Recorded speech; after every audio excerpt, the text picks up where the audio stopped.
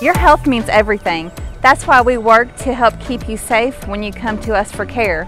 That's also why it's so important for you not to delay in getting care that you need, whether it's an emergency, a checkup, or it's time for a screening like your annual mammogram.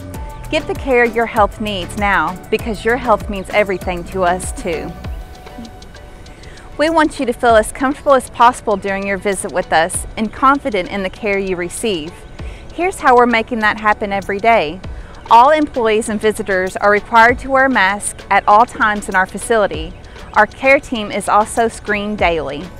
We also know that having a loved one with you is an important part of your care experience. When a visitor is able to join you, we ask them to practice the same precautions so that you and your guests can feel confident in your safety and we can all continue to protect each other until the pandemic is behind us.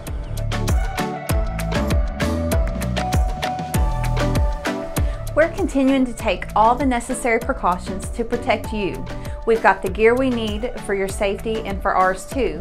We have all the equipment and supplies we need to care for you in an environment that is as comfortable as possible.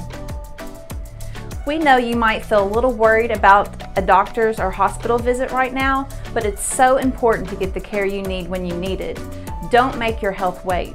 We're prepared and always here to care for you safely. Bluegrass Community Hospital has always been a clean and safe place to get care, and we're continuing to use the most effective cleaning and disinfection methods to make sure it stays that way for you. We're here for you. If you're in pain, we can help. If it's time for your annual checkup or mammogram, we've got you.